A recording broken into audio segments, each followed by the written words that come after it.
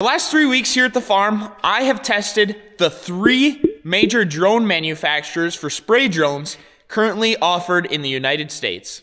The drone that I thought I would end up purchasing to spray acres with this upcoming year was not the one I went with, but let me tell you why. The drone that I thought I was gonna buy, which is the DJI T50, which came to the farm, flew just a couple weeks ago, but I'm not gonna be getting that one because there's potential government ban on all of the DJI stuff coming to the United States because of governmental issues. So I'd, I'd hate to spend $30,000, $40,000 on a drone, not be able to repair it, not be able to get parts, not be able to do updates to it. So as much as I like the DJI stuff, it just didn't seem like the way to go. The other drone, the EAVision J100, that's the most recent drone that I've demoed. That drone I liked. It seemed like the user interface was similar to DJI's. It's going to be US manufactured. Had a lot of benefits to that one, just couldn't get over the smaller 13 and a half gallon tank in comparison to the drone that I purchased. Which leads us now to the drone that I bought. So there's XAG is the brand, the manufacturer, and they have two offerings. So the first is the P100 Pro, which I tested here at the farm just a couple weeks ago, and the other is the P150, an updated, better version of the P100 Pro. Now here's where the problem came in. The P100 Pro, it's a good drone, costs about $30,000, can get about 40 actual acres done an hour. Now switch over to the P150, this drone's about 43,000, can get about 50 acres done in an hour. I didn't really necessarily need the bigger drone, but number one, I didn't really want to spend a lot of money on technology that was going to be already going on three years old. And number two, my family, we farm 2,000 acres you can do the math. This drone can spray about 50 acres in an hour, eight hour days. In about five days, I'll have all of our acres sprayed with this drone. So naturally now, I started running the numbers for how long this drone is gonna take to make me a return on my investment. So I'm gonna have about $43,000 invested in just the drone, all of the batteries, the chargers and everything there on the drone. And then on this side, is all my costs I'm gonna have for the trailer, which I'll show you guys the trailer here in a second, but generator, I already have 5,000. The tanks, I'm gonna have close to another 4,000. And then I'm gonna need some plumbing and miscellaneous things on the trailer. So I'm guessing I'm gonna have about 15,000 in the trailer. Total, I'm gonna be right under $60,000. Now, like I mentioned, our farm, we farm about 2,000 crop acres. A current cost of a custom applicator to spray using a drone or using an airplane, it's gonna be about $10 an acre. So you run the math, $10 an acre times 2,000 acres. I'm gonna be saving $20,000 a year by spraying all of our acres myself. Now that may sound like a lot of money considering it's a $60,000 investment. I'm gonna be saving $20,000 a year, but that doesn't pay for all the expenses I'm gonna have in my time, all the expenses I'm gonna have in fuel for the generator, for the truck to pull the trailer, all the other miscellaneous things that are going into me custom applying all of our acres. So all this eventually then got led up to finally they have the bill. I'm about to write out the check and they say, so do you want the bill made out to Matthias Kunerth or do you have a drone application business LLC name that you want this written out to? And naturally that leads into questions of me going, well, why would I want an LLC for my drone application business? I never really thought I'd start a drone application business. Tell me about the benefits of that for me rather than just spraying all my own personal acres with this drone. So the salesman starts telling me, well, you know, if you set it up as an LLC, then all these licenses that I need to actually use my drone since it weighs more than 55 pounds, if I were ever to go out and hire someone else to spray my drone, I wouldn't have to pay another $1,500 for someone to use my drone because I have the 137 exemption under my name. And I'm like, well, you know, I might as well set up an LLC. That way I can maybe save myself $1,500 down the road. Which led into me learning how to set up an LLC, eventually calling my tax accountant, learning I need to go to the Minnesota Secretary of State's office, create a business name, which first time ever on camera, HiTech Drone Applications LLC. That's the name of my drone application business. Set that up as a business. That way I could then open up a business checking account at the bank.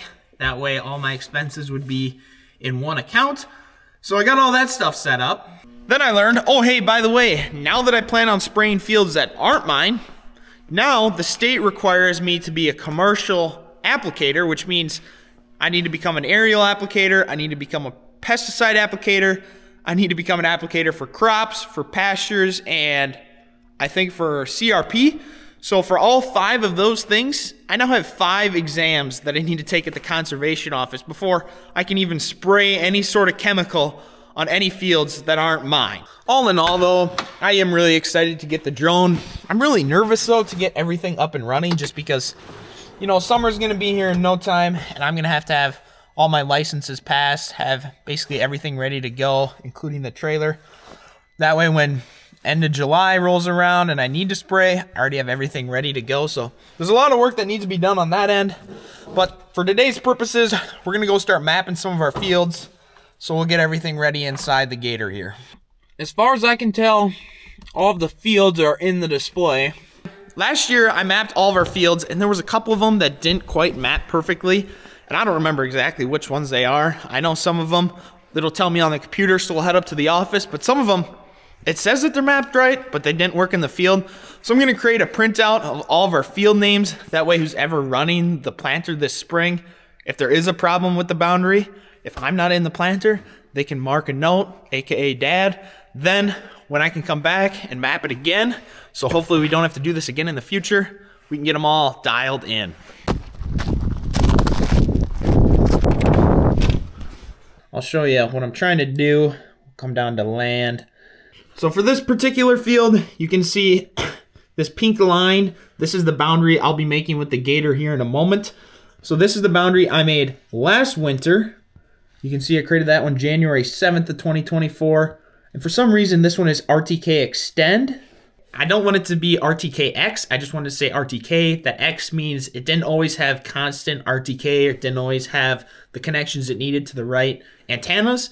And I think I got that issue figured out. So this is one field in particular that we'll end up remapping today. Now I'll just go through all the fields that we have, check to see which ones don't have RTK boundaries outside of them create a nice little list. That way we know which fields to go to when we head out with the Ranger.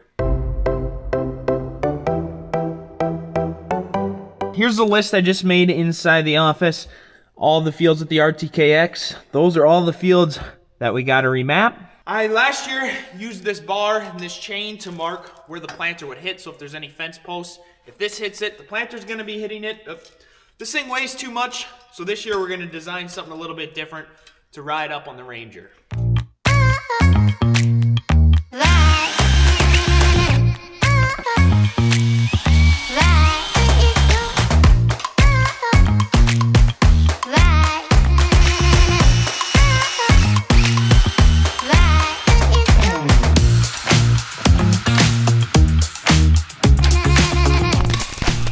Me explain the reasoning we had to set all this stuff up like this. So the way our Ranger's set up, we got the globe set right there in the middle. And then my first row of corn seed is going to be 15 inches off of that center line. So if I measure here, I'll show you 15 inches right there.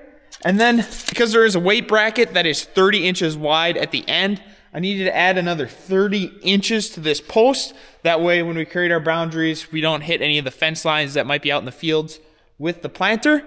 So if I measure over from roughly where the tape measure is, which is where that first row is, over another 30 inches, that is where our little chain is gonna be swinging.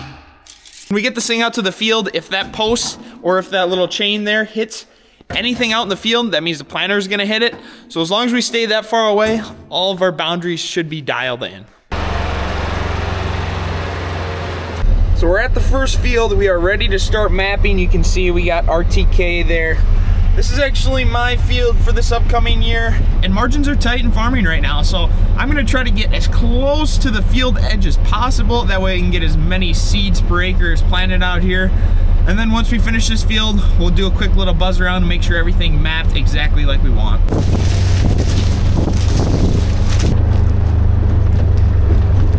What I'm doing here today with this GPS globe and this computer inside the Ranger, the thought is we should not need to touch the steering wheel at all when going around the outside edges of the field, which, like I said, super nice so you don't hit anything, but also super nice because if we ever want to start a field, start planting late at night, there is no worries of hitting anything because it's all going to drive itself and it just takes away a lot of the stress of planting a field.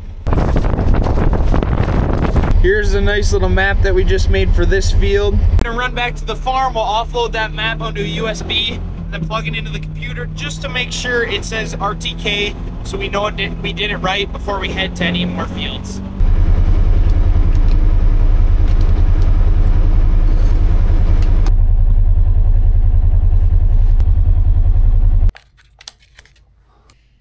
Looking here at the boundary we just made. Now if I scroll down, Yep. Those words right there. RTKX. That is not what I want to see. So I'm running into the same problem that we did last year. For some reason, we're not keeping our RTK signal. I'm going to go out to the field again and try it basically again and see what happens.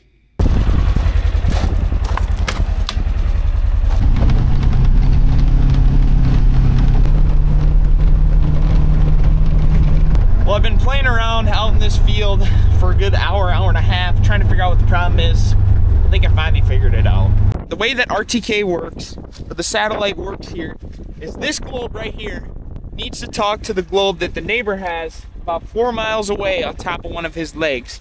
And the problem I'm running into is since I'm in like a low spot of this field, as you can tell, there's a big draw here. I'm losing connectivity to his tower which means I'm not keeping consistent RTK all the time. Which basically leaves me with two options. Option number one, forget I even came out here, forget I even tried to get some of these other fields to work, still use the steering wheel and the spring, and that's one option. And option number two, which is of course spend a bunch more money, and that's what I've been doing, looking at the last 20 minutes, is looking on my phone, seeing if how much more the next receiver up. So I have a Starfire 6000, they have a Starfire 7000. This has higher accuracy rather than using another globe to for a correction. They use satellites up in space for correction of this new globe. So that would cost me about $3,000 plus an annual subscription fee of about $1,500.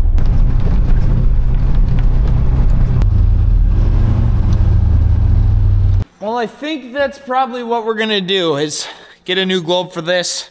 It's not really what I want to do. I don't feel like spending more money and paying more annual subscription to John Deere, but it seems like that's probably the smart decision just with the way technology is evolving. I can still get pretty good money for that one. So fortunately, didn't get a ton done today like I'd hoped, but that's it for today's video of HiTech Farmer.